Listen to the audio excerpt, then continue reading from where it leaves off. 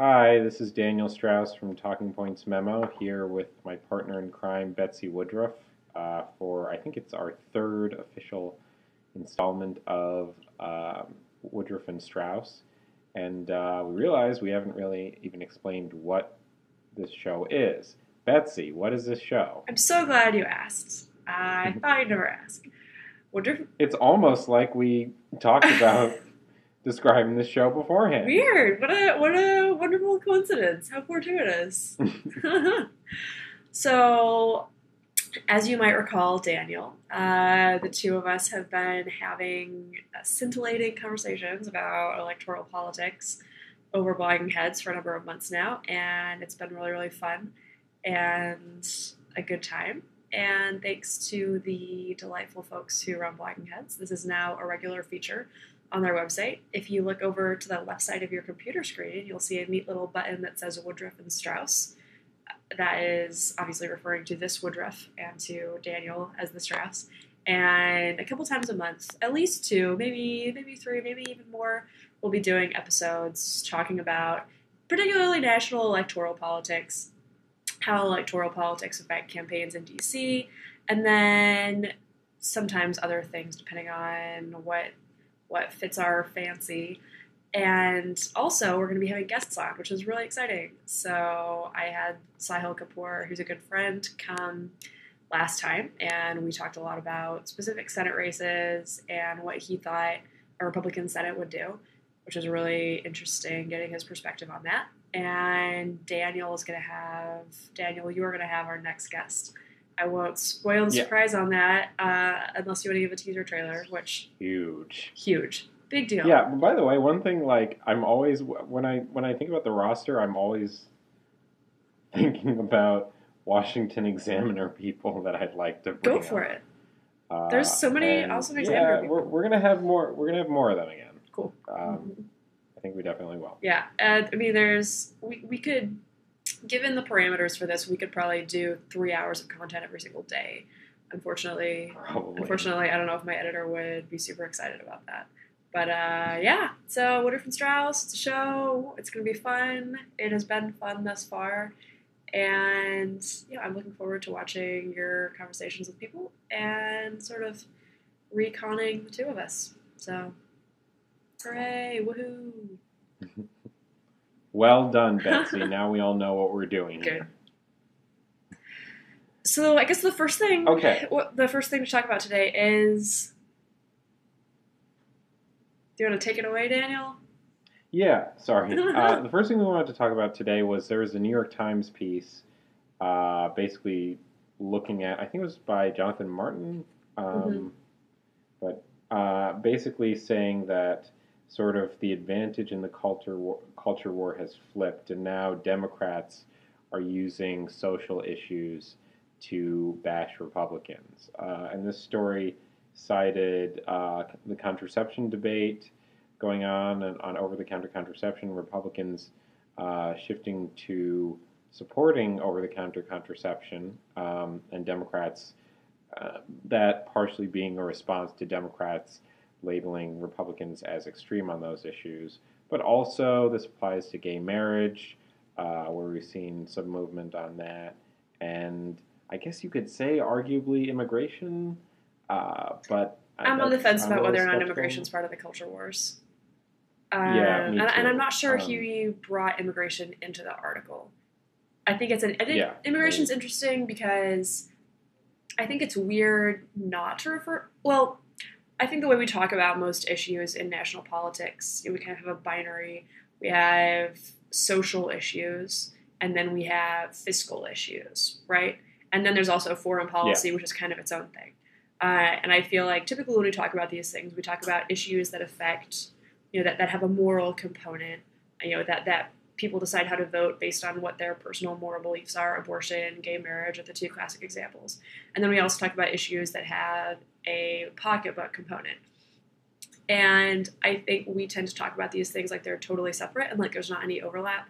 For instance, as if abortion doesn't have a financial element, or as if raising the minimum wage couldn't be a moral issue at all. Uh, when, of course, the reality for a lot of voters is often much more complicated. And I think that we see how complicated that reality is when the immigration debate comes up because it really kind of messes up that entire binary system because it is obviously a financial issue. It's, it's, a it's a huge financial issue for companies. It's a huge financial issue for American workers.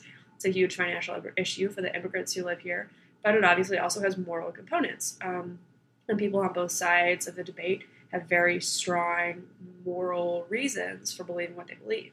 So I don't I don't I, I think it makes the culture wars conversation more difficult, which is probably a good thing. but uh right. I mean I mean uh, the thing is about like I don't know. I I was a little I'm a little skeptical to say Democrats have won the culture war, uh, which is sort of how I saw this article sold as, yeah. um, because Democrats are very much not going to win the House of Representatives, and uh, they could lose the Senate at the same time. So perhaps they have. I, I think you could say they've shifted. Uh, you know, the debate has sort of shifted in that mm-hmm. way, but at the same time, um, lately I've done some reporting on over-the-counter contraception, and the thing about it is that a lot of, I mean, Democrats at first were taken kind of aback by guys like Thom Tillis, the Senate, the Senate, the GOP Senate nominee in North Carolina, or Cory Gardner, the GOP Senate nominee in uh, Colorado, um, announcing their support for uh, over-the-counter contraception. But after that, they sort of uh, Democrats found a new thing to criticize on them on this issue, which is that uh, they felt that it needed to be part of a broader shift on um, on contraception and women's health in general, mm-hmm. and that's how they disagree with it. And it doesn't look like Republicans are moving in that way. So maybe maybe I'm wrong. Maybe I'm maybe I'm taking this as maybe I mean you if you're a candidate, you always need something to criticize your opponents right. about. But uh, it doesn't seem like there has. I don't know how much of a shift there has been on this issue. I think there is definitely movement away from uh, conservatives, or I, or not maybe not conservatives, but uh, Republicans pushing um, uh, you being on the attack and saying, you know, X candidate is for abortion, therefore he's for killing babies right. in the same way yeah. that we would have seen a few cycles ago. But I don't know uh, how like I don't know how deep this change is and this cultural shift is. On the same on the other hand, though, gay marriage is not what it used to right. be, right? Yeah. It's not a controversial issue. I that. think, and there are a number of candidates out there, like uh, Monica Wehby, who recently came out for in support of gay marriage. Mm-hmm. Now, granted, she's the Republican nominee for Senate in Oregon, uh, and she's uh, trailing Senator Jeff Merkley there. But at the same time, I think it depends on a it's it's on a case by case basis. Yeah, right? sure thing. I think when we talk, I think it's kind of a question of what we talk about when we talk about the culture wars, and maybe. Mm-hmm. So I think typically culture wars is a shorthand way of talking about gay marriage and abortion as two essential political issues. Two of the biggest, most divisive political questions of the last 20 years, maybe. 20 years, maybe more. Although even gay marriage wasn't even that much of a question uh, in 1994, right. which is just crazy to think about. But if we talk about it in those terms, and we say culture wars, then we're looking at disagreements over, I think, primarily abortion and gay marriage, but then also disagreements over whether or not schools can teach evolution. You know, textbook, Texas textbook controversies, controversies, disagreements over mm. abstinence only sex education, stuff that you know, arguments that were much more central to the, the national conversation, which is the worst phrase of all time, during the Bush administration than they were during the Obama administration. And right. And I think I think the the conservative side of the culture wars, or the conservative Christian side of the culture wars, sort of had its biggest wins during the Bush administration, and Democrats were very much on defense whenever they were talking about gay marriage, and whenever they were talking about abortion. You know, even talking about abstinence only sex education, you see candidates and national political leaders really just kind of argle bargling their way through any sort of conversation on abortion. It was just Democrats weren't Yeah. great at talking about it. Um, and it was an issue Republicans could win on, and it was an issue that was an essential one for Republicans, and it still is today. You, know, you with a few exceptions, notable exceptions, you can't be a Republican candidate for a statewide federal office if you're pro-choice. Uh, it's possible. Bruce Rauner in Illinois, Scott Brown is not as pro-life as many on the right would like him to be, but generally speaking, the abortion side, you know, the the pro-life position still dominates the Republican Party. But I think talking about the culture wars and how and how our conversation about the culture wars has changed, I think I think the most the most important element is talking about gay marriage, uh, and this is something that Jonathan Mhm. Martin's New York Times article touched on a little bit. Um, but in 2004, Karl Rove and George W. Bush made that election campaign about gay marriage because that was the winning issue. Because if they talked about Iraq, they were going to lose. Isn't that crazy to think that just 10 years ago, you could win Ohio and Florida by being against gay marriage? And now it's it's practically a non-starter. Uh, Republicans are Yeah. in retreat on that issue. Um, and that's a huge area where Democrats have won, just enormously, and especially where they've won up among young people. Uh, you know, millennials, whoop de doo, are are almost entirely uh, supportive of gay marriage.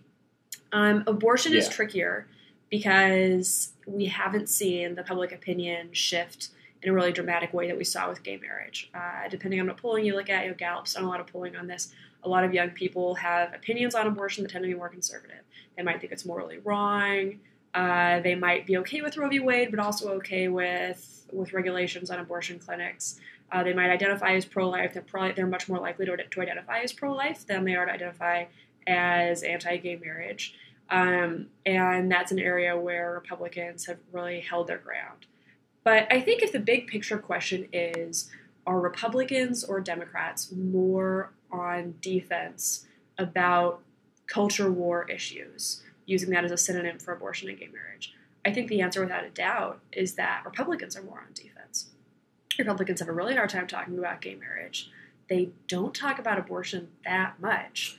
Uh, and the war on women issue is, is basically a way that the Democratic Party can talk about these social issues, particularly abortion, without wading too far into evangelical Christian fighting over theology territory. Yeah. So what happened with that? Um, I mean, do you think what happened to religion in all of this?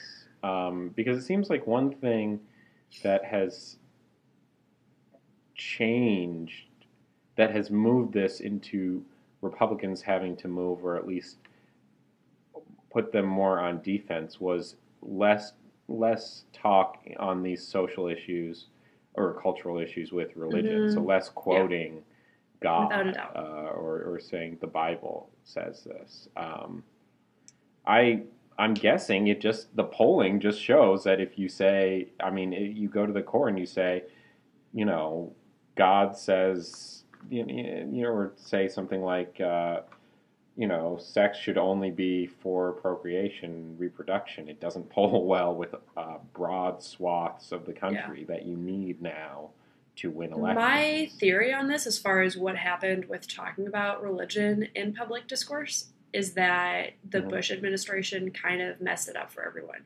You know, when George W. Bush was president, evangelical Christians had an enormous amount of power in American national politics. Just were, you know, arguably the most powerful religious group in America. I think, I think without a doubt, when George W. Bush was president, evangelical Christians, I can't think of another religious group that you could count as more powerful.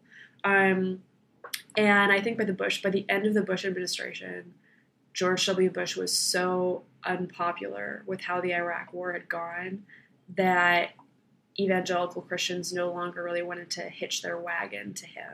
And they didn't really have someone standing up for their priorities. And I think also their brand was really sullied by being so closely associated with George W. Bush. You know, uh, even the evangelical Christian agenda became dominated by questions about how we nation build in Iraq, rather than questions of what how should we teach kids about sex ed. Uh, I think they got to be in charge uh, as much as they could have.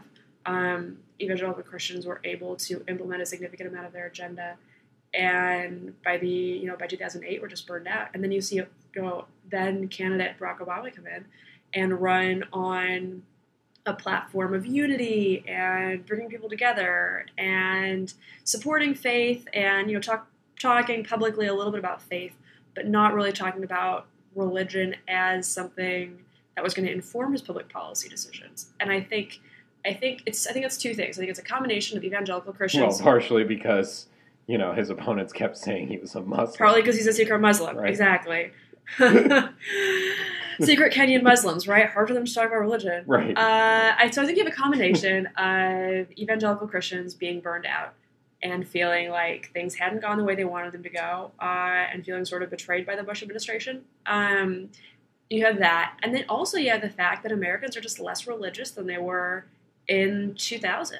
Uh, young evangelical Christians, in, in enormous numbers, stop being evangelical, or they stop going to church, or they stop identifying as evangelical. They're less likely to have their evangelical Christian faith influence how they vote. Um, and you just religious participation in the United States has largely flatlined or gone down. You look at mainline Protestant churches, which, which don't really count here because they tend to be much more liberal politically, but their attendance numbers have just been gutted. You know, even the evangelical church isn't seeing the growth and expansion that it was. And the Catholic Church, which has been okay over the last eight years, has only been able to keep its attendance numbers relatively stable because of immigration and because so many immigrants coming to the United States are Roman Catholic and from Roman Catholic and from countries that are predominantly Roman Oh-ho. Catholic. Oh ho!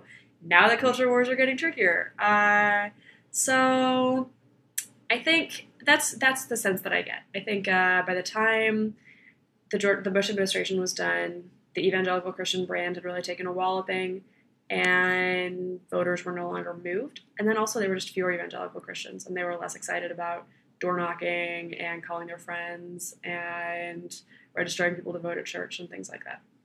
That's my sense. So let me ask you something though. I mean, I, I just on this topic, I I'm incredibly jaded and like right now, what does it matter if Democrats are winning the culture war? That doesn't seem to be moving the polls in their direction. Mhm. and it doesn't seem. I mean, we still have a, a, a conservative leaning Supreme Court uh, that whose Chief Justice uh, probably. I mean, you you you you. I am not TPM's Supreme Court correspondent. We literally have another reporter who does that, who was on the show last time. Um, but it doesn't seem like Roberts. I mean, Roberts probably there's part probably a part of him who's like, well, I kind of helped, you know, the left last time. I got to do, you know, or he's motivated. He might feel some guilt or something for going along with that position. And I don't really know, but my point is, uh, it doesn't seem like it really matters very Mhm. much if uh, the culture wars are moving. I don't. I mean, I disagree. Um, I really. Well, yeah, because the culture wars are really all the Democrats have going for them right now. Public confidence in Democrats' ability to govern in terms of foreign policy and in terms of economic policy is really low. Republicans, and in terms Mhm. of healthcare too. Republicans win in the polls or in many polls on those issues. Those are things Republicans feel very confident talking about. I interviewed Reince Priebus back in February or March about how he thought the election campaigns were going to go. And he said, the only thing you're going to hear about is Obamacare. If you ask me what I want in my coffee, I'm going to say Obamacare. If you ask me what day of the week it is, I'm going to say Obamacare. Your Republicans were chomping at the bit to talk about health care, chomping at the bit to talk about jobs, chomping at the bit to talk about energy, chomping at the bit to talk about growth. Because Democrats don't have a huge amount to run on. You know, regardless of whose fault it is, the last eight years or, or the last uh, five years, five, six years, have not been the best. And Americans have a sense that, that economically things aren't going great. Democrats can't say, look at what a good job we've done with the economy, look how great things have been for the last five years, keep us in charge. That's not an argument they can make very compellingly, just based on what's hmm. happened. However, they can argue do you care about abortion access? Do you want the rest of the United States to look like Texas? They can argue Do you support gay marriage? Do you think that your gay friends should be able to get married? Uh, they can talk about those things. And when it comes to public opinion polls, they win on those issues. Not not necessarily abortion, but especially gay marriage. Um, Right. And then also, not only are those issues that, or especially especially gay marriage, that they win on in public opinion polls, or at least where they're much more competitive, but they're also issues that get people to turn out to vote. Uh, you look at Emily's List and the amount of money that Emily's List pours into campaigns supporting pro-choice women. You look at how incredibly mobilized gay rights activists are and how effective they are at getting people to turn out to vote. At the fact that that's a very important issue to a significant number of Americans, especially to young Americans who are less likely to turn out in the midterms. And I think this culture war stuff, if Democrats are winning it, is kind of the only trump card that they have because there's not Right. a huge amount of Well, other I mean- issues that they can talk about in, in 30 second campaign commercials. So right, okay. So I want to quibble with one point on Okay. this, but I, I want to give you, for the most part, I, I, I, but I want to quibble on this one point, which is something that Democrats love to do in sort of like, you know, they love to pull out their calculators, stretch their suspenders, uh, you know, adjust their triple thick glasses, and then go into this argument right here, which is that they like to say, and I actually, I'm, I'm pretty bullish on this point, um, that the, the Obamacare brand itself may not be good, but you you can see Democrats in incredibly tight races like Mark Pryor, uh, like Kay Hagan. Well, not so much Kay Hagan. Kay Hagan has actually Kay Hagan has been running on the social issues, Mhm. and she's been running on abortion and minimum wage stuff, Mhm. and she's been leading. Uh, so there there's a point there, but. Um, Pryor is a good example of for most of the race, he's stayed above the fray, or at least he's still in it. Mhm. Uh, I think in the last week it's flipped. The, the you know the forecasters have flipped it slightly to Tom Cotton, the Republican nominee there, but you know it could easily flip back on the aspects of Obamacare. So Mhm. not saying Obamacare, Yeah. but saying Social Security and Medicare Right. and Medicaid.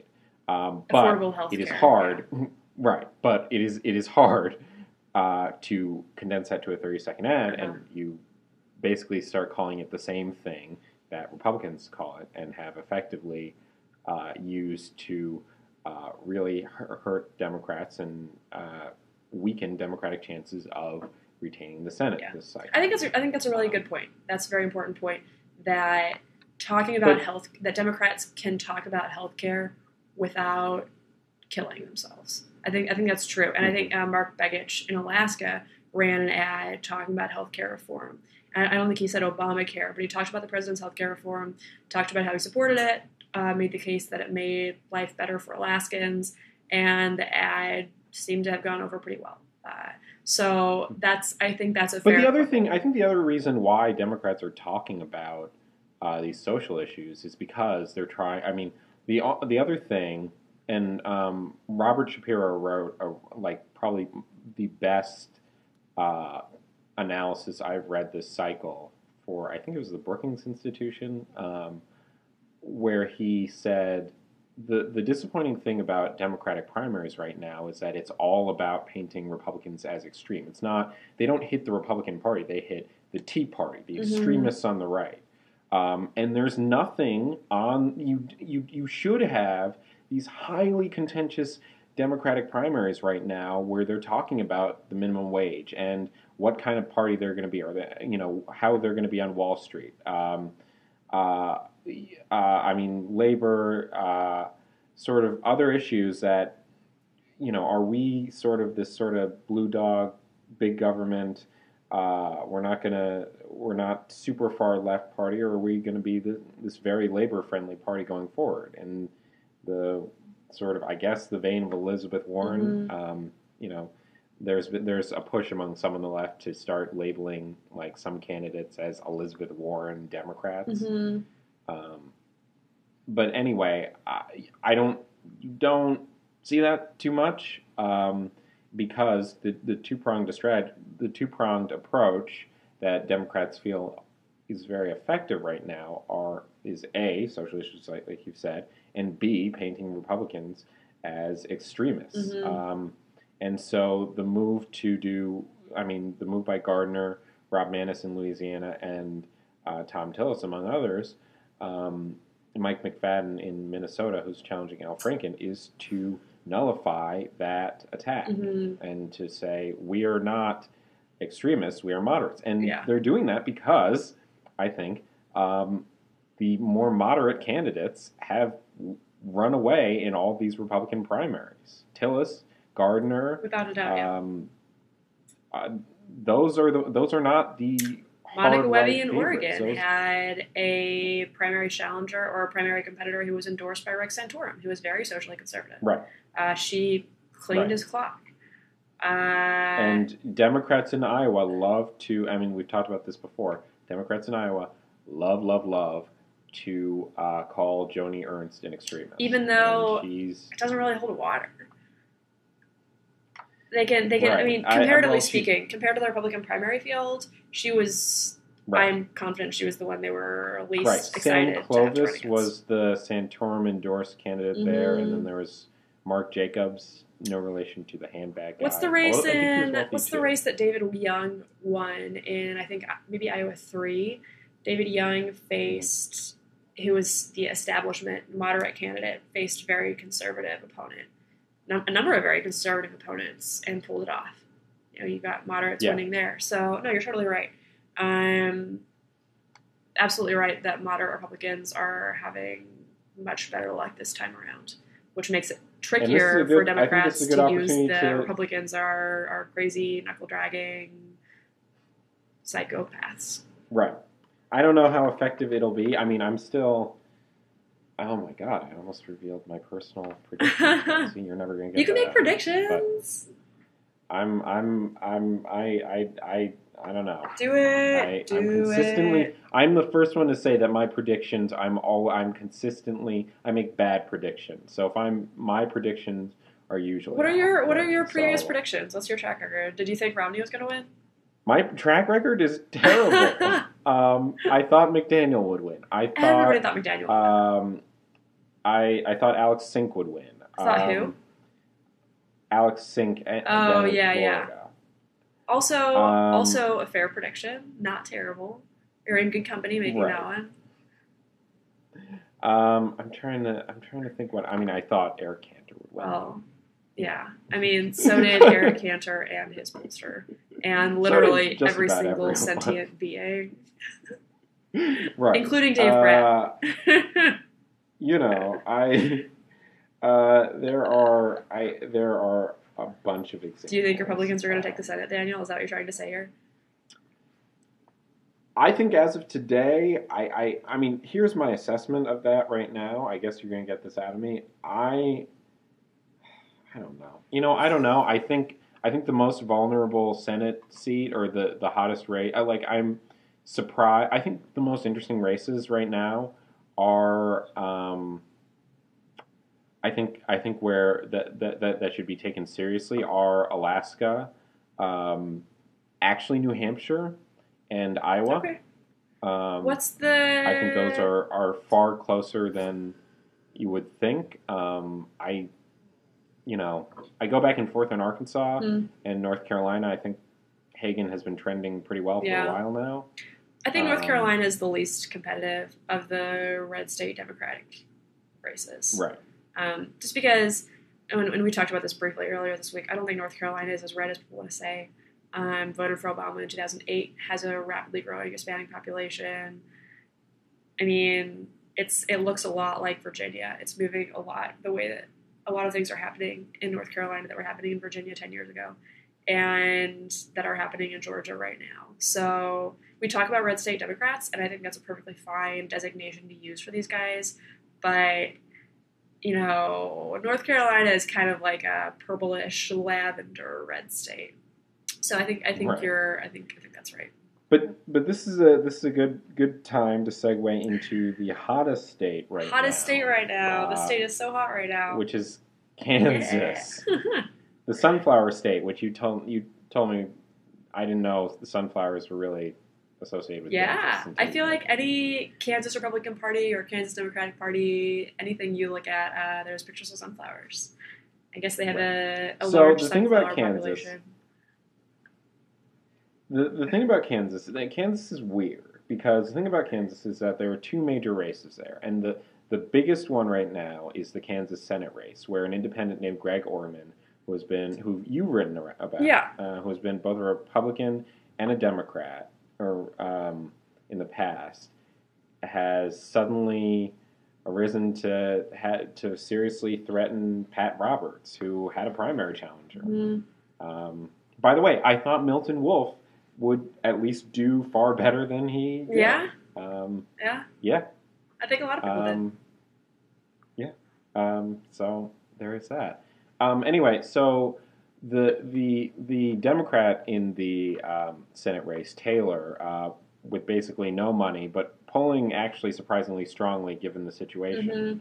deep red te- Texas, dropped out, asked to be taken off the ballot, basically in sort of a kind of deal with Democrats, giving Orman an opening. So And is Orman there has is there has it been reported that Democrats made a deal with Chad Taylor dropping off, or is that just the assumption?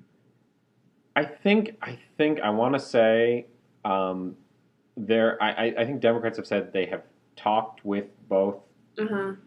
candidates Because the Democratic Party Um, won't endorse Orman. Paul right, Davis Right. I mean, is not going to campaign with Orman. Right. Um, But that's the thing. They uh, so I, I think I think the the official interpretation is that they have decided to hedge their bets and move their resources elsewhere. yeah, yeah, but that's true. It just it just so happened to be doing this in a way that helps uh, a candidate who, you know, if he wins and Republicans. So the deal with Orman is that he said he's going to caucus with whoever is in the majority. So if Republicans win the majority, it's no change. You know, Right. Either Pat Roberts wins or Orman wins. Nothing's really different. If Democrats keep the majority, uh, then it's a bigger then majority. They pick up a seat. Yeah. Right. Um, so that's where we are. Um, recent polling, if I'm not mistaken, has shown that uh, Orman is a little bit ahead of Pat Roberts. Um, PPP did polling a couple right. days ago, I think. So um, before I want to get to the other race in the state, I want to ask you, like, uh, was this how? Why is this happening? Because Roberts is not considered the most conservative, right? Um, uh, why is Roberts in trouble? The people that I've talked to explain it this way. So, well, there's there's a number of factors. One reason Roberts is in trouble is because he had this really brutal primary, and he knew about the primary challenger for a long time, and he started taking votes that were more conservative to try to tack to the right so that he'd be more competitive in his primary, because he assumed, which was a very safe assumption at the time, that he wouldn't have a tough bid in the general election. And one vote that I hear mentioned multiple times is the vote for the UN Convention on the Rights of Persons with Disabilities, the UNCRPD. Bob Dole, former presidential candidate, former Kansas senator, sort of the big politics guy from Kansas, the, the Kansas elder statesman who's very old, I think he's in his 90s, came to DC to lobby for the passage of the UNCRPD, was on the floor of Congress, I believe in his wheelchair, talking to talking to senators, trying to get them to vote for it. Um, he spoke with Roberts on the floor, and then as people who watch it, who watch the vote, describe it to me, uh, after he left the floor, after he talked to Roberts, who was one of his political proteges, uh, Roberts voted against ratifying the convention, and the convention did not get ratified. And Bob Dole was bitterly disappointed. Uh, and while this wasn't huge national news, not a lot of it didn't get a ton of coverage. People in Kansas, especially Republican leaders in Kansas, former Republican lawmakers, saw this happening uh, and didn't think it was pretty. So that's so that's a I think a problem for Pat Roberts. I think he could have taken that vote. Uh, he could have voted for ratification, and it would probably have been better for him politically. And that's obviously very cynical to talk about to talk about such an important vote in purely political terms, but whatever. Uh, the another reason that Pat Roberts is in trouble is he so he tacked to the right, but then as a result of that, he alienated a lot of Republican moderates. And people talk about Kansas like it's a very red state, and it is because it votes red in presidential elections, but it's not as red as, for instance, Alabama or uh, Mississippi or Texas. It's the, it's very Republican, but it's very moderate Republican. Remember, Jennifer Granholm was the governor of Kansas and worked a lot with Republicans. No, no, no. Uh, Kathleen. Kathleen Sebelius. My bad. Jennifer Granholm's. I knew I was getting that messed up. Uh, Michigan. Michigan. yeah. Kathleen Sebelius was the governor of Kansas and worked well with Republicans there. The Kansas state government and the govern and the Republicans who governed Kansas were very moderate, very centrist, um, because you had to be a Republican to win anything in Kansas. You couldn't win as a Democrat. So people who were on the fence would just say, "Well, obviously, I'm going to be a Republican." You know, Bob Dole has an anecdote about saying which party has the easiest time winning. Republicans, great, I'm a Republican. Something to that effect. Uh, so Roberts really alienated a lot of these guys, and this election cycle, we're just seeing the moderate Republicans in Kansas rear their head. You know, there's two groups. You know, one group of about 70 former Republican state lawmakers, current and former, who have endorsed Greg Orman, and another group of 100 former Republican lawmakers who who endorsed Republican uh, Sam Brownback's Democratic challenger. You see these guys saying, Right. "We will not be ignored. We will not be run over by the Tea Party. We're here. We're not going anywhere, and we want to get rid of these far right conservative Republicans." So uh, that's a big problem for Roberts, and part of the reason, So, part of the reason, yeah, part- so and Brownback is a problem for Roberts too. Brownback's poll numbers are Right, dismal, and people who turn up to vote against Brownback are going to vote against Roberts as well. So so much. So I guess the way to interpret this is that uh, I don't know how to go about this the right way here because. So is the way to interpret that that like Kansas is a red state, but it's not a super deep red Yeah. state. Um, okay, so It's red, but it's not blood red. Okay. which which brings us to the governor's race, Yeah. where Governor Sam Brownback, probably the most high profile. I mean, he's the Tea Party governor, uh, is is lagging in the polls behind Democratic challenger Paul Mhm. Davis. Uh, and what I'm told, um, and from people I've talked to, and even Davis himself, who I interviewed, um, told me that a lot of people give him a first look because they're so turned off with Sam uh, Brownback. And the thing is, um, uh, one of the primary reasons that Brownback is in trouble is because he went through with these uh, tax cuts that were very deep and basically hurt Kansas's economy. hmm Um, and that's given an opening for Democrats there. Um, Davis is the House Minority Leader, um, and he has sort of he's he's stre- like if he could tattoo moderate on his forehead for the duration of the primary or of the of the election, he would do it. Uh, he he wants to make very clear that he would be sort of a Kansas Democrat. Yeah, totally. Um, he's like he's like um, the Scott and- Brown of Democrats. Right. It's it's funny because he's I, I I mean I think you can't say as a candidate like a big reason I'm doing well is because they don't like the other right, exactly. But- yeah, And and you can't win. it's not me, that. it's him. Like right. If if if Davis does win, um, which seems a serious possibility, uh, it will be partially because voters in Kansas are so turned off with um, Brownback. Right. And Brownback Yeah. himself had this no-name primary challenger named uh, Winn, Jennifer Winn. Um, Yeah. And she did surprisingly well. Yeah, and had like zero money. She had like five bucks. Yeah. Yeah. Zero money. Um, so I, I, you know, I, uh, so that's, I mean, that's what's happening here. That's why we could see some kind of democratic wave. The rub, the, the, the more, the drama about this is that um, there's also a very active, very conservative um, Secretary of State there, there named Chris Kobach Kobach, yeah. um, Kobach, sorry, um, who has sort of resisted uh, taking t- Gene Taylor, the Democrat, off the ballot, which is what Democrats want, um, and making it. I mean, that closes the opening for Orman a little. Bit. Makes bit, it a little harder for end, him. Yeah, Right, you want two people on the ballot Right. if, if you're a Democrat. Right. You don't want Taylor because Roberts only has to win on. the majority. He does not have to win fifty-one percent. Roberts can win Um, thirty-four percent and win. So there's been some back and forth about this. Yeah, thirty-four. Yeah, exactly. Um, I think I, I, I haven't focused too much on um, this on the Secretary of State race here, but I do know that like It's competitive. there there's talk of like of Democrats really pushing the Democratic candidate Oh yeah, there. uh, um, I spoke with the Democratic and- candidate Jean. I think her name is Jean Schodorf, maybe a month or two ago when I wrote about Brownback, uh, and it's a competitive race. And again, it's this anti-Brownback, anti-conservative uprising in Kansas. She's really interesting because she used to be a Republican. All right, this is this is this is an interesting part of this whole of this whole situation. Schodorf used to be a Republican state senator. Her parents were Republicans. She was a Republican all her life. Um, and she didn't back all of Brownback's tax cutting reforms. Uh, so Brownback endorsed a Republican primary challenger against her, which is unheard of, which also doesn't really happen in Kansas because it's kind of by constitution a very affable, let's all be pals, let's all get along state. So the fact that Brownback took a very bellicose strategy towards getting his agenda through turned off a lot of people.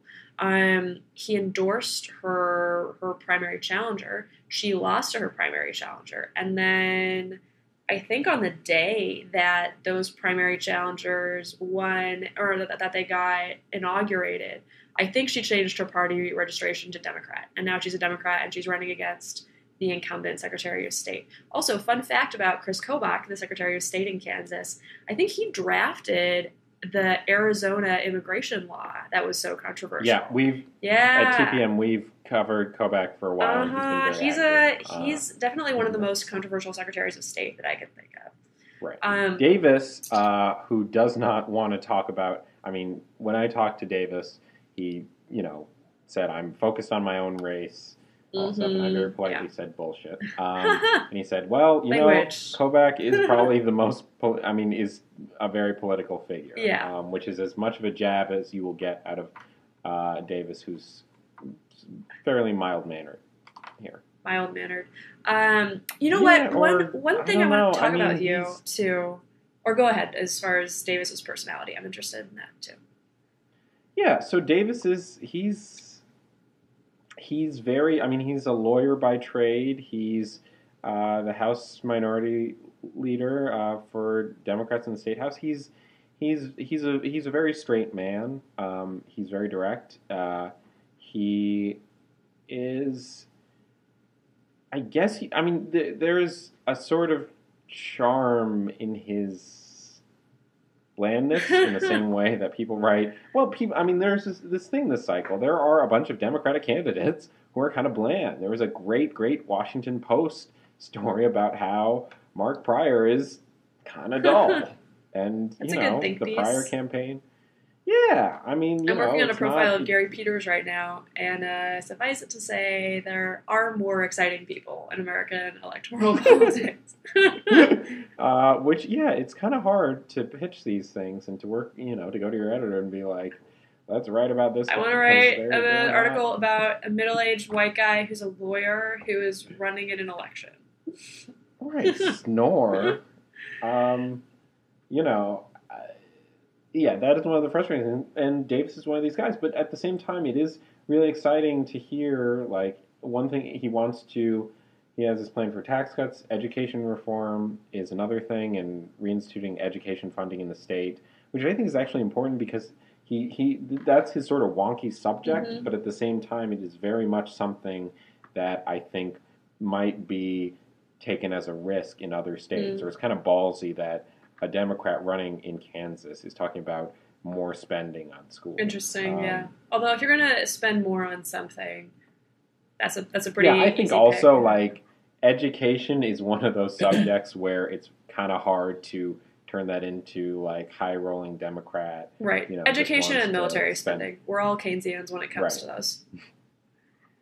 Um, so here's a que- here's a question that I have for you about Kansas. Um, Davis tweeted yesterday that tweeted something to the effect of, "I was down by a gap, or, or I was leading by two points or something about a month ago. Then uh, Sam Brownback ran a whole bunch of negative ads against me. Now my lead has expanded." Essentially, making the case that the negative advertising campaign that that I think was actually the Republican Governors Association, but negative ads against Paul Davis had actually helped him, was what he was implying, um, arguably because they raised his name ID.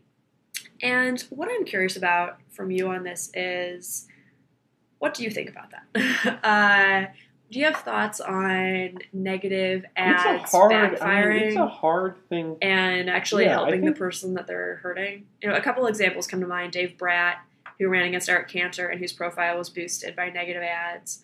When Ted Cruz ran against David Dewhurst for the Republican primary in 2012, Dewhurst ran ads calling him Red Ted and saying he cared more about communist China than America. And we all know how that worked out. Uh, do you think Oh, that's something that can happen in Dewhurst. He lost Kansas? his- oh, yeah. Dewhurst was another another uh, primary that I called wrong. That you call what? that I called wrong. Oh, That I, my prediction really? was that he would survive against. Well, it was Patrick, I think, Dan Patrick. Oh yeah, Dan Um, Patrick. hmm So That was this cycle Don't ever- for don't. re-election for lieutenant governor. Yeah. I got that one right. well, I knew. listen, I knew Um, Dewhurst anyway, was going to so- lose that. I knew he was going to lose that last summer. I'll send you. I'll send you my uh, my great national review piece on how Dewhurst sort of uh, screwed the pooch with Wendy Davis filibuster. Interesting situation for people who are Yeah. super emotionally invested in te- the Texas lieutenant governor's race, of which there are some. Maybe not. Maybe not a ton of people. Maybe not everybody. Maybe it's a small group. Right. Okay, so let me. I mean, um, so you want to know like what? And yeah, there are a few examples of this. Um, I don't know. I I. It's a we. It's a. It's. I, I. Definitely think your assessment that that you know that this raises uh, name recognition for the other guy when the other guy's not that well known is an important factor. Um, and I guess in this situation, it makes it look like uh, Brownback is worried. Mm. Um, I have I, I remember watching some of Brownback's recent positive spots. Um, so if he's going negative two, that makes him look like he's in complete campaign mode. Um, Well, if he's not I think worried, he should be. right. Um, I you know I or you shouldn't make it. I, I think you shouldn't make it very clear that you're running a campaign. It should be about something bigger. Mhm. You know, it should be about not the campaign, but more work to be done. Right, Four- exactly. You know, four more years and more buildings, more of this, more Right. of that. Um, I cut taxes. I'm going to cut I- your taxes more, more money in your paycheck at the end of the month, etc. that's not. Yeah, that's not going to work. um, you know, um, and uh, so I, I, I don't, I, I, I don't know what you want to do if you're. What you want is you want something really incriminating against Davis, Mhm. and I don't. I guess you want something that's not connected to him. There was a bump uh, with an ad with Davis a little while ago. Um, with an actor on the ad, um, oh but yeah. I, It turned out that actor was in was wasn't that actor was like in torture porn or something. It wasn't torture porn, but that actor was like a sex criminal. I think he was a sex criminal. Yeah. yeah something. so the like Davis that. ad, so the Davis Um, campaign pulled it and wah wah. Yeah, you know, what are you Yeah. gonna do? Um, you're gonna pull the ad. Yeah, That's what you're gonna do. Yeah. um, I, so I, I mean, I guess that's that's what needs to happen. Um, I don't know. I think you know Davis. I think if we were to, if everything were to stay as they were, but two races that I would predict or not predict, but I think I would not be surprised if uh, Pat Quinn lost in Illinois uh, because he's down in most polls, and Paul Davis won in uh, Kansas. Yeah. Um, which are which is a very interesting because that's what that's what the trends are showing right and now. that's also And just I- a really interesting duo of governors races because it's hard to think of a state that's bluer than Illinois, and it's also hard to think of a state that's redder than Kansas. At least when we talk very generally about these things. And Pat Quinn is obviously a dyed-in-the-wool Democrat. Sam Brownback's obviously a dyed-in-the-wool Republican. But both of them are, you know, treading water. And the smart money at this point almost seems to be on their challengers. So, and also they're both facing challengers who are running as very centrist moderates who can get the state's financial house in order. Kansas, potential major financial issues for the state. Illinois, you've got like something like what Same thing. enormous. pension. It's a it's huge pension problem that nobody can figure Yeah, out. exactly. Um, so maybe that maybe the takeaway here is that it doesn't matter how ideologically correct you are. It doesn't matter what color your state is. If you don't handle finances well, you're going to be up a creek. Right. It's the economy, stupid. It's, Yeah, know, and It's exactly. the feeling of right. It's the, the feeling of people that the economy is doing well. Like Mhm. if you can make your people rich, you can do whatever you want. you are fine. That's true. what people want right now. They want to. They want to be rich again. Well, or, or Um, just stable. You know, they want their or- kids or to be stable. employed and to Stable move would out. be nice. Right. They want to know that Right. kids with college degrees will get a job in the field that they studied. Uh, Mhm. And those are no longer things that Americans can take for granted. Which, when you think about it, it's kind of crazy because that didn't used to be the case. Yeah. Right. For a number of reasons. Um, and I think this is what partially, I mean, this is one of Elizabeth Warren's shticks that is so appealing, like paying for college. I don't know about you, Betsy, but like the idea of me pay, having kids and paying for their college is probably the most daunting Oh, yeah. uh, task. I like I cannot because I personally would like my I like to joke that um, my kids will have many choices about where they go to college. They can go to the art school at the University of Michigan. They can go to the business school at the University of Michigan. Or they can go to the public policy school at the University of Michigan. So they're, you know, the world is their oyster. But, like, frankly, paying for the University of Michigan, as my parents did, sounds oh, like yeah. an impossible Formidable. task for me. Not to mention, like, Right. even thinking about buying a house. Right. Oh, yeah. There was there's this Yeah, I don't know website, there's this one. Twitter handle. I think it's called something like True Facts, and it's like one of these weird Twitter bizarro joke accounts, and it just tweet weird things like "True fact: sandwiches have bones." Um, but one of the things they tweeted was "True fact: you will never be able to afford a house," and it got like ten thousand retweets. I was like, "Ooh." uh, it's so true. but like that didn't used to be Um, the case, you know. Yeah. when our I, parents uh, were finishing college, like they could buy houses. So I mean, I don't. You know, I think obviously, obviously, that, this is a big just- it's kind of a- generalization. um, well, and in a lot of ways, American I don't know about your parents. My parents were married by now. Yeah, Uh, my, I think my mom was they were- 24. My dad was 27 when they got married. I think. Okay. so, your your your dad was as old as I am. Eek. Said that on. How old were your parents when they got married? Um, they were younger than me. I think they were. Um, I think they were 25 and 26. They had been dating in college and um, that, and then they they didn't. They don't have me till like five or six years Okay. later. Um, after my dad finished law school and my mom finished business. school. Interesting. So, um, cool. a while, but yeah, they yeah. Um, so let's get back to one thing because I wanted to cover one thing before we go on our sort of general area. Talk about something else in politics right now, which is polling. Um, Polling, yeah. Right. So polling, we are we are in the point of any election cycle where uh, polling is what everyone. I mean, there are polls always coming out, and everyone is paying close Right. attention, including the campaigns. Um, and one thing I've noticed this cycle is that every time a promising poll comes out or something for one candidate, the other can the other campaign releases an internal poll that shows, guess what? that first poll that came out isn't quite true Yeah. or something. What a coincidence. Um, and listen, like the best polling websites don't average out polls. They have algorithms that factor in a few things that are magical to me, and I don't understand them at all. Um, but it is hard to sort of, I think it, it is hard for um, political consumers at all levels, from casual to obsessed, Mhm. to really get a good idea of what happen, what's happening in a race when a poll commissioned by a group that supports one candidate uh, comes out in response to another one um, for another candidate. Yeah. Um, Got it out. uh, I don't, and it's just one of those things that's going to make politics much harder to parse, Mhm. um, and I think complicate something that was clean and should have stayed tragically clean. Um, Tragically clean. yeah. clean as dry bones. Yeah, I think it's totally Yeah. true. Um, and I was talking about this with my editor earlier today, which I'm just talking about the fact that at this at this juncture in the history of of our planet of human civilization, uh, we have more access to polls than we've ever had.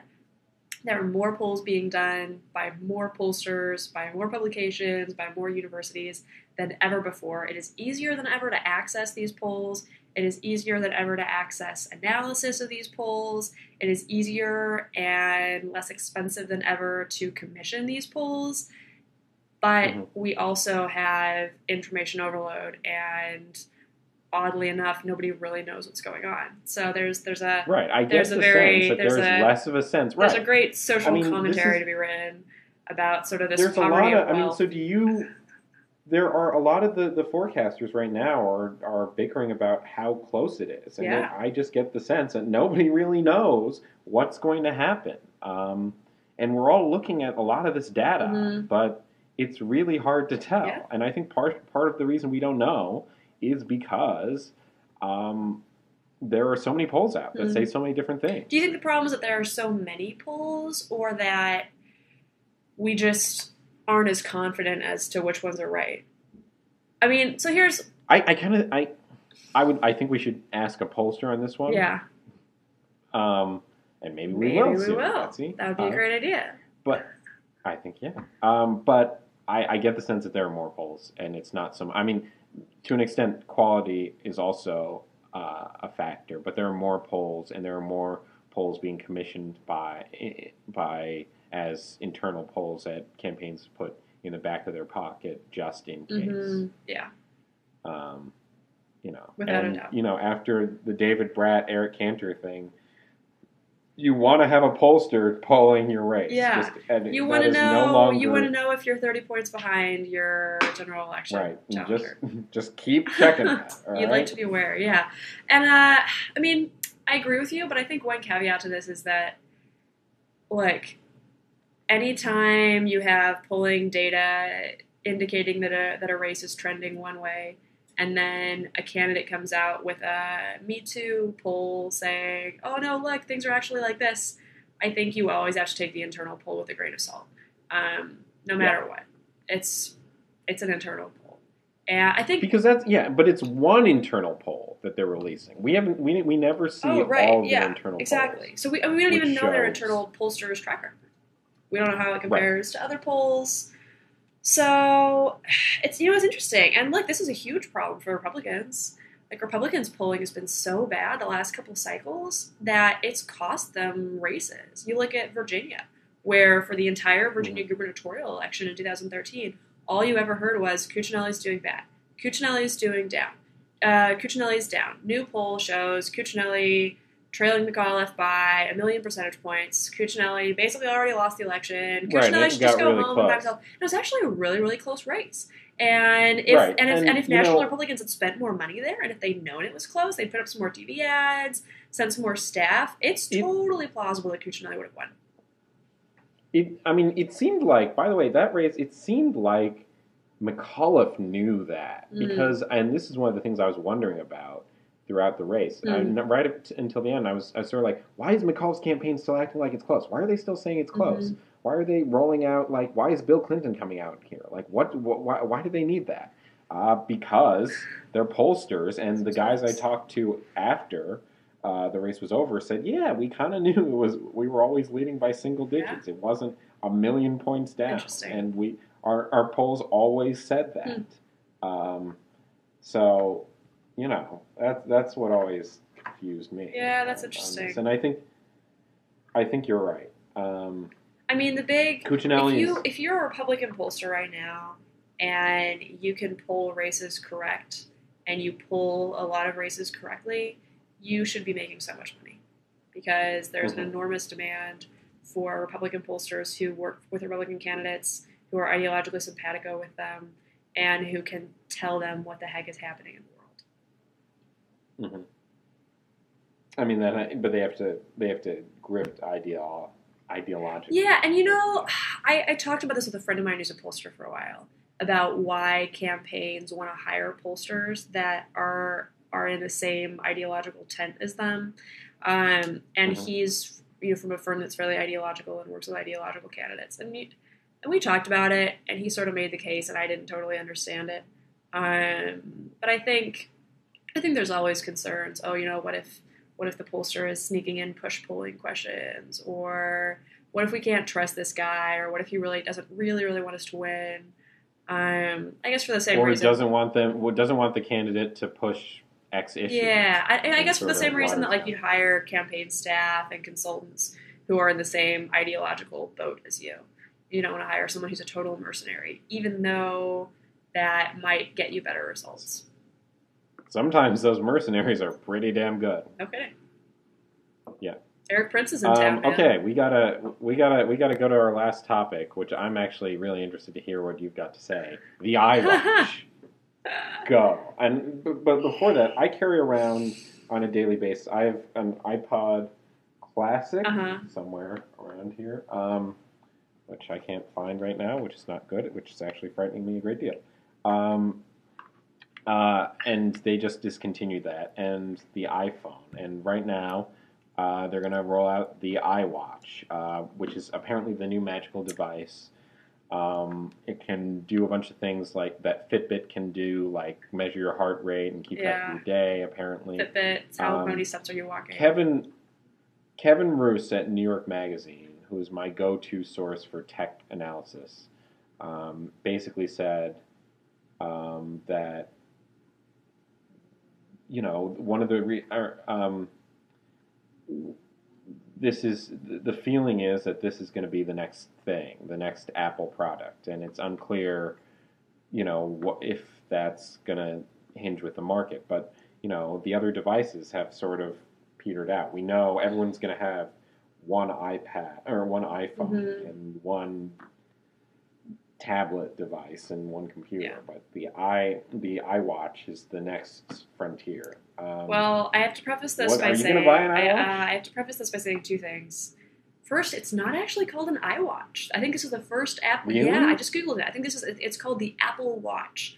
I think this is the first Oh. Apple product ever that hasn't had an I at the beginning. So well, in a long time, maybe ever. Like, I mean, besides like the No, the MacBook Air, Macintosh. Yeah, yeah, yeah. oh yeah, Um, but besides, you know, iPhones, iPads, all that stuff, it's just called the Apple Watch. And I saw tweets about a think piece making the case that, wow, what a big departure for Apple. So that's my first thing. My second thing is, I literally have read no articles about the Apple Watch. I know basically nothing about it. I am totally tech illiterate. I know how to use the Twitter machine. I know how to use my iPhone, and I don't really know anything else. So I'm a low information consumer, or a low information potential consumer of the Apple Watch. Um, I'm not a person who reads Gizmodo. I do not have a favorite tech journalist. I really should. This isn't something I'm proud of. I aspire to be a high information tech consumer, but I'm not. Um, so prefacing it by saying that I would, you know, still be using handwritten mail to request interviews if that was that was convenient. I would never wear an Apple Watch. That's the dorkiest thing in the world. What are people even talking Betsy, about? you're saying No something is dorky. Way never. Not gonna happen. It's so dorky. Why would you? And why would you not wear an Apple Watch? Why? Why would you? My phone is in my bag. I spend enough time looking at my phone as is. I don't need my phone like clamped onto my body, constantly giving me information. Um, I'm trying to use my phone less. First, second, uh, it's. I mean, it's Dick Tracy, right? What am I gonna do? Oh, hi, this is Betsy Woodruff. Phone call. No, I don't want to do that. I'm not gonna like talk into my wrist. What is even the upside of this thing? I just no. It's like it's like the. It's like the Google Glass. Like yeah, I'm gonna walk around in my Google Glass and my iWatch. You know, never having friends for the rest of my life. No. what about you? Are you gonna Yeah, Are you gonna the- wear an Google iWatch Glass did. or, or an Apple Watch? What am I going to wear an iWatch? Yeah.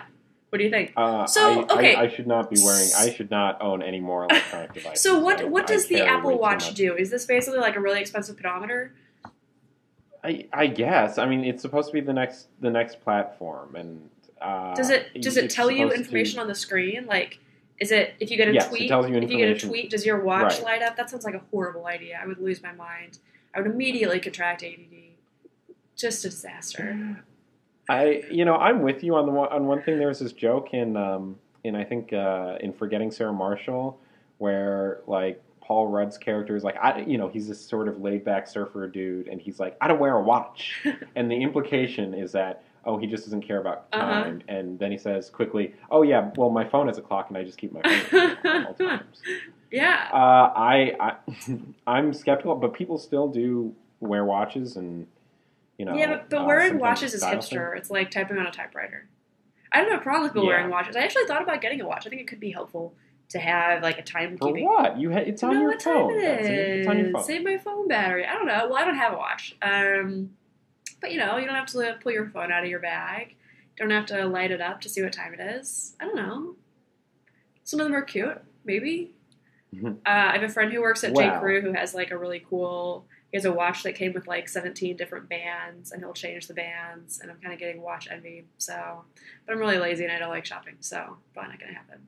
What about you? Are you gonna Are you gonna get a an Apple Watch so that you can tell if you've walked ten thousand steps in the day and if you're if you're getting heart disease?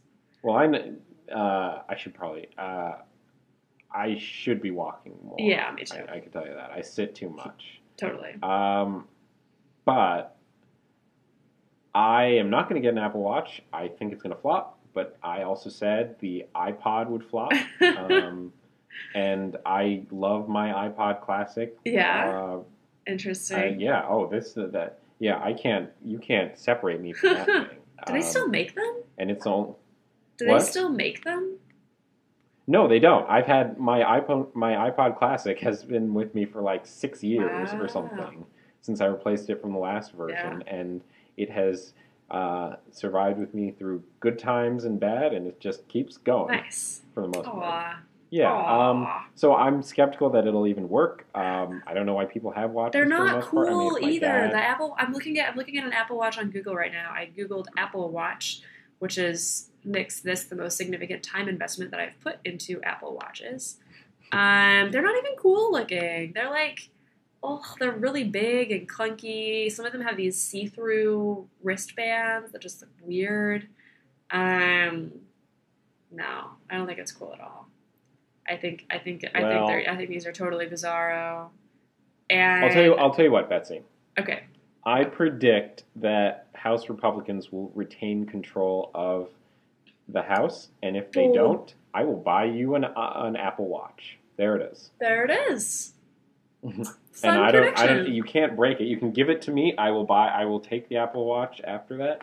But that that is my not prediction, but bet, my wager, my sticking. That's my- a good you know, wager. I don't know what we'll do, and maybe we'll be wrong. Maybe Um, it'll be super useful. I need to think of a wager to bet you an Apple Watch on. I don't have one on the top of my head, but I'll think of one. Interesting. Uh, okay, so here's here's my closing argument for Apple Watches being the worst. My closing argument is Yeah. based on my personal firsthand experience as an iPhone owner. I spend way too much time on my phone.